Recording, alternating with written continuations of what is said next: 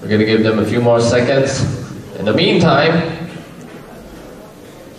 Jeong Gwon Seok, are you ready? Okay. Judges, once more, are you guys ready? All right, ladies and gentlemen, welcome from Korea, Jeong Gwon Seok.